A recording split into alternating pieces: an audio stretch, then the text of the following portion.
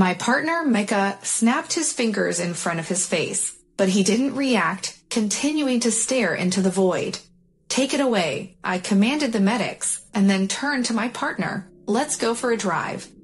I showed him the passport, taken from the man's jacket pocket, opened on the registration page. It's nearby, let's check what's there. Micah nodded and followed me to the car.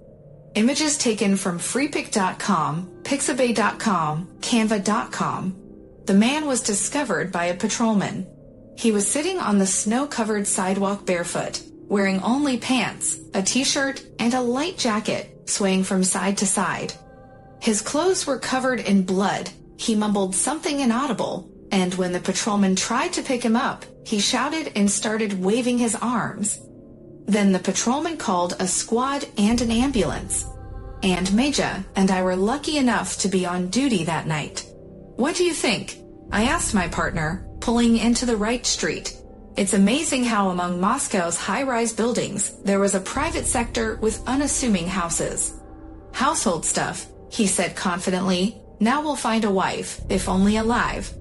I thought so too. There was not a scratch on citizen Petrov Ilya Anatolievich, born in 1975. The blood belonged to someone else, and Petrov was in a completely insane state. He didn't answer any questions, only mood, and asked what we wanted from him. The house stood out among the others. In the gray winter darkness, the gnarled fence glared blackly among the white snow. The trees in the garden were bare, despite the snowfall the day before. A chill ran through me as I pushed open the gate, and it creaked open. Micah, too, was quiet and gloomy, staring at the house. Shine a light, I asked when we reached the cleared path to the house.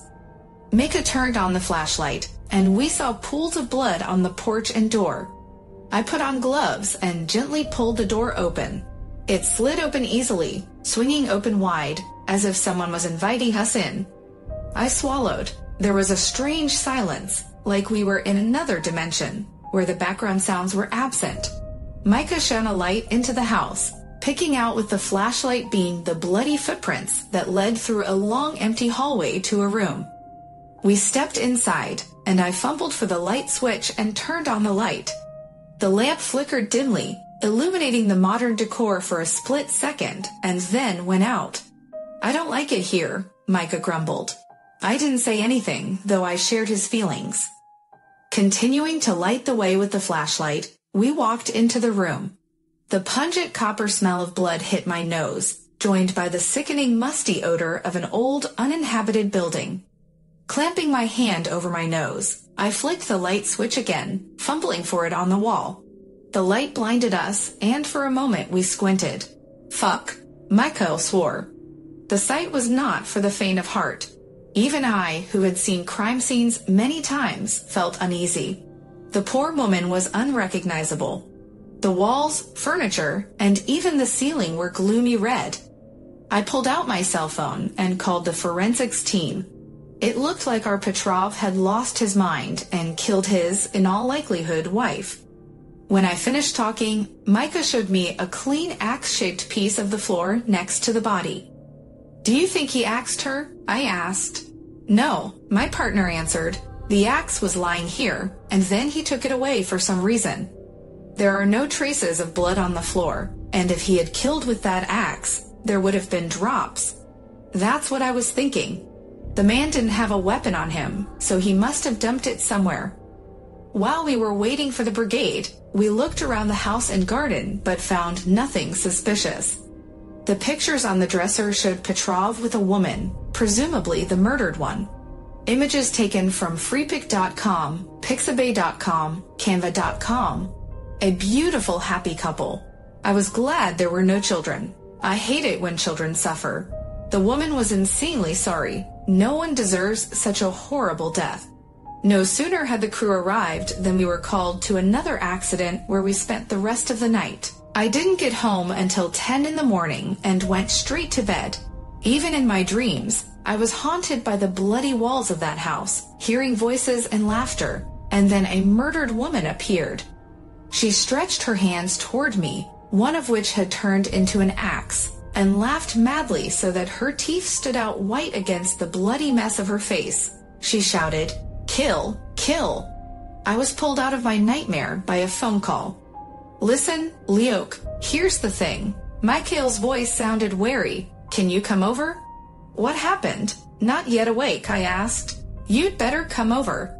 Intrigued, I quickly packed and drove to the prosecutor's office, where I was called by Michael, trying to get the image from the dream out of my head. In the duty room, he showed me a table with photos. I immediately recognized yesterday's house and the victim's body. For a moment, it seemed that the photo smelled of the same mustiness that I had felt in that room. Look, Micah slid one photo to me. I took the card in my hands and marveled. In the same place where we had seen the silhouette of the axe, there was an axe of the same shape in the photo. The blade was almost shining. It was unclear whether it was the effect on the photo or whether it was made of some alloy. I looked at Micah in surprise. Did you find the weapon of crime? Images taken from freepik.com, pixabay.com, canva.com. He shook his head grimly. No, Lek. I checked the list of items taken from the scene. There's no axe. And I called the guys, asked them in between. Nobody saw him. He finished in a whisper. I felt uneasy. I thought someone had decided to play a stupid joke. But how then? Mika shook his head again. I don't know. What about the detainee? He doesn't remember anything. Not at all. He says he fell asleep yesterday and woke up at our place. He lived with his wife and never had any grief. Neighbors speak well of him. Positive family, no quarrels, no fights. Nothing in his blood. The psychiatrist declared him sane. He's screaming that we're trying to pin a murder on him. I chuckled, the usual song. He's a fool. I said, He's got so much blood on him, he'll never get away with it. He's all right, but the axe, do you want to go down there again? Honestly, I didn't want to. That house scared me on some subconscious level, but I couldn't leave the mystery unanswered. Let's go, I said, and soon we were entering the creepy house again. Breaking the seal, I opened the door. The familiar smell hit my nose again, and for a moment, I thought I heard that voice from the dream. Kill, it whispered against my ear, and a chill ran through my body. Are you okay? Micah asked, and I nodded and moved on. I turned on the light in the murder room and stopped on the threshold. The body had already been taken away, and it was obvious from the mess that a lot of people had been there. But that wasn't what caught my attention. The axe mark on the floor was as clean as it had been yesterday. Mika squeezed past me and squatted down beside it examining it closer. It's weird, he muttered. It's like I feel like I can reach out and grab it. And he did reach out. An unaccountable fear made me rush toward him and shout, Don't.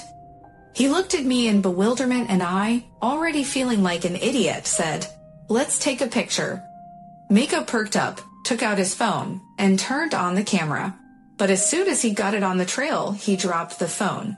Shit, he exclaimed and backed away. That's not how it works. What?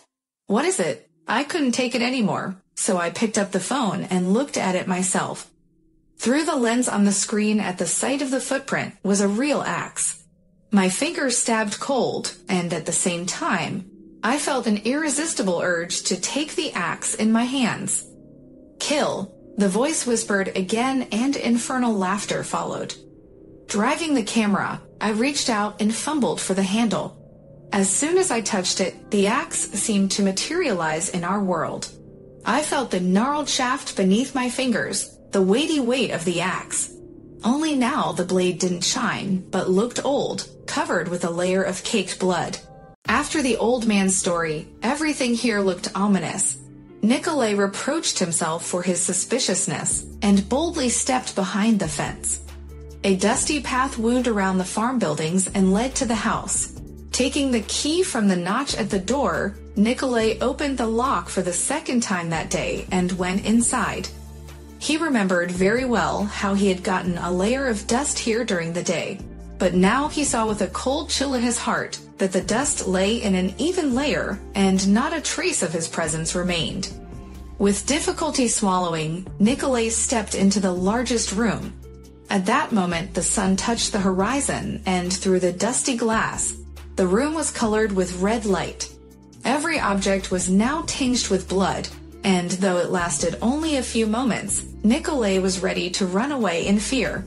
But the light changed to dusk, and exhaling, Nikolay turned on the flashlight, the only modern thing in the house.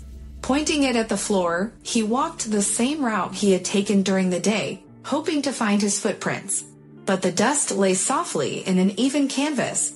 But in the dining room, there was a surprise. The chairs were chaotically arranged, as if someone jumped up from them, frightened by the presence of strangers, although Nikolay perfectly remembered that during the day they stood exactly under the table. But it was something else that made him break into a cold sweat. There were bowls of steaming chowder on the table, and on the floor, several barefoot footprints were appearing out of nowhere. Someone was walking from the table toward Nikolay. Feeling the hair on his head move, he squealed and rushed toward the exit. The heavy wooden door slammed in his face, and he flew face first into the door, screaming and pulling it open. There was a rustle of voices behind him, as if muffled by a wall, and a howl. This horrible howl grew with every second, coming closer and closer. Nikolay banged on the door, feeling tears of fear in his eyes, and then yanked it open again. This time the door yielded, and he almost fell on his back by inertia, but jumped up and ran away from this hellish house. It was only near the fence that he dared to turn around. There were two women in ancient clothes standing in the window, their hands folded pleadingly, looking at him until something jerked them inside. Whispering prayers, Nicholas ran into the village. The old man was sitting in the same spot and waiting for him. As soon as Nicholas came closer, the old man stood up and beckoned him into the house with his hand. Well, are you taking the farm? He squeaked, letting Nikolay into the house. Nikolay shook his head, unable to utter a word. Tomorrow he would leave here and never come back.